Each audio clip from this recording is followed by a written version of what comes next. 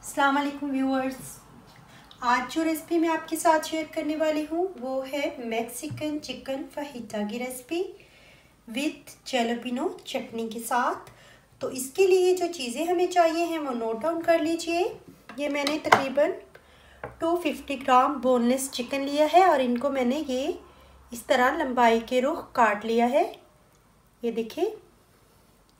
ये हमें चाहिए है और हमें चाहिए है वन फोर्थ कप या three to four tablespoon orange juice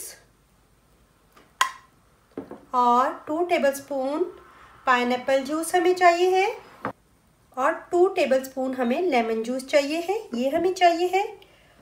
और हमें जेलापिनो चटनी बनाने के लिए ये चाहिए हैं, चार अदर मोटी वाली मिर्ची। इन मिर्चों को हम लोग, ये देखें वन कप के करीब मेरे पास ऑयल है, गरम ऑयल नीम गरम ऑयल है, ये बहुत ज़्यादा गरम नहीं है।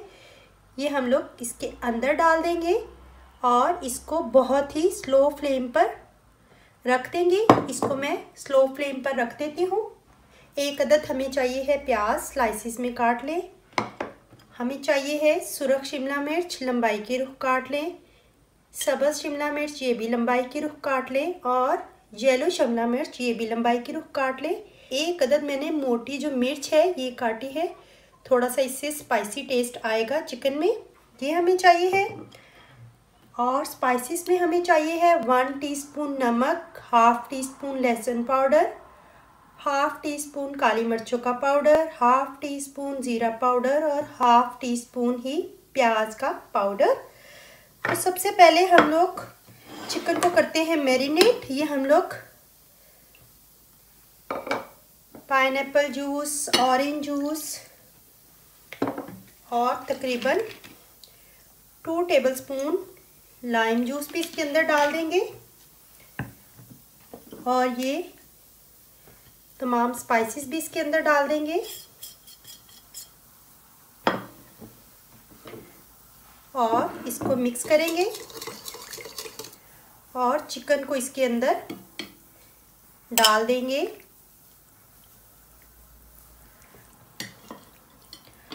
और मैरिनेट होने के लिए हम लोग इसको दो से तीन घंटे के लिए रख देंगे। आप ओवरनाइट रखेंगे तो इसका रिज़ल्ट और अच्छा आएगा, वरना दो से तीन घंटे भी इनफ है। दो से तीन घंटों के लिए हम लोग इसको मैरिनेट होने के लिए रख देंगे। जी तो व्यूवर्स चिकन जो है वो मैरिनेट हो चुका है। अब हम लोग स्टार्ट करते हैं बनाना। अब हम लोग एक पैन लेंगे। कि हम लोगों ने तवा लिया है। हम लोग इसके ऊपर टू टेबल स्पून जो है कुकिंग ऑयल मैंने डाला है टू टेबल स्पून और हम लोग चिकन को इसके ऊपर यूँ डाल देंगे?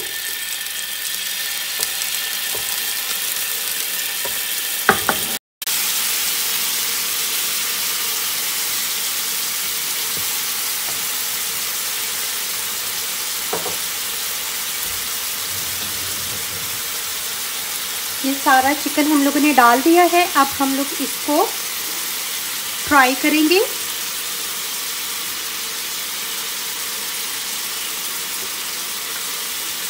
सिर्फ़ छः सात मिनट ही फ्राई करेंगे।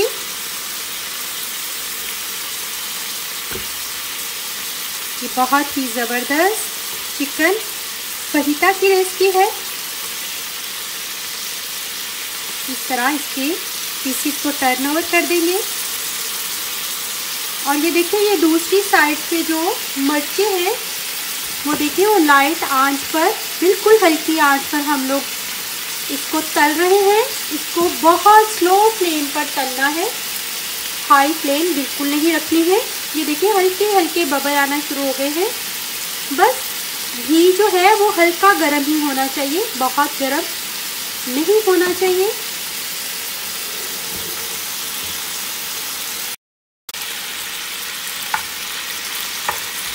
इनको हम लोग पाँच सात मिनट के लिए ही फ्राई करेंगे।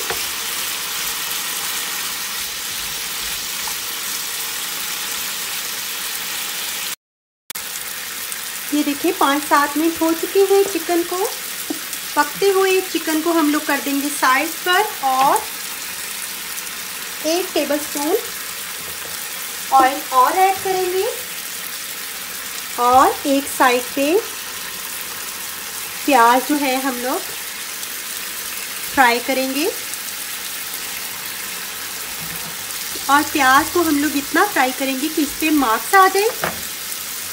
साथ एक साइड पे हम लोग ये अपनी वेजिटेबल्स भी डाल देते हैं ताकि ये भी थोड़ी सी सॉटे हो जाए। इस तरह। थोड़ा सा प्याजों को साइड पे करते हैं और ये ग्रीन बेल पेपर भी डाल देते हैं और इनको सॉटे करते हैं। थोड़ा सा नमक छिड़केंगे। ज़्यादा नहीं, थोड़ा सा।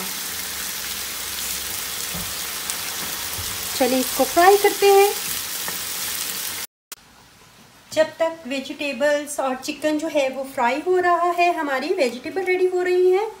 हम लोग ये अपनी मिर्चों को ऑयल से निकाल लेते हैं, ये देखें। आपने बस इस बात का ध्यान रखना है कि ऑयल बहुत गर्म ना हो और बहुत स्लो फ्लेम पर आपने इनको फ्राई करना है। अब हम लोग इसको, इसकी ये जो है, ये उतार लेते हैं। और थोड़ा सा हम लोग इसके अंदर, इसको थोड़ा ठंडा होने देते हैं पहले। ये उतार कर हम लोग थोड़ा सा सिरका डालकर इसको ग्राइंडर में पीस लेंगे। ये देखिए, प्याज भी देखिए इन पे मार्क्स आ चुके हैं, ये भी सॉटे हो चुकी हैं। और चिकन भी ये देखें,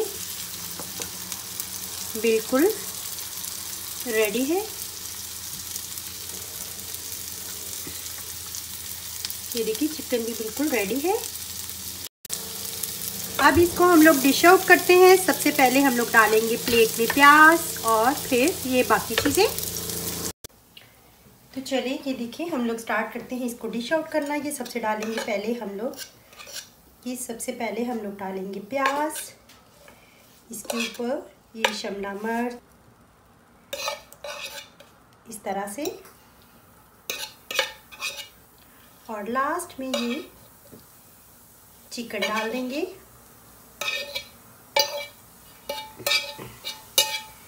रेडी है हमारा मज़ेदार सा chicken fajita with jalapeno chutney के साथ। तो व्यूवर्स ये थी हमारी आज की रेसिपी ये मैं आपको करीब से दिखाती हूँ। बहुत ज़बरदस्त टेस्टी और बहुत मज़े का बना है और बहुत ज़बरदस्त बना है। ये देखिए। तो ये थी हमारी आज की dish Mexican chicken fajita with jalapeno chutney के साथ। तो व्यूवर्स ये थी हमारी आज की रेसिपी अगर आपको मेरी ये रेसिपी पसंद आई है तो लाइक करें कमेंट करें और अपने फ्रेंड एंड फैमिलीज़ के साथ शेयर भी करें। तो मिलते हैं अगली रेसिपी के साथ प्रो रेसिपीज़ में। तब तक के लिए अल्लाह हाफिज़।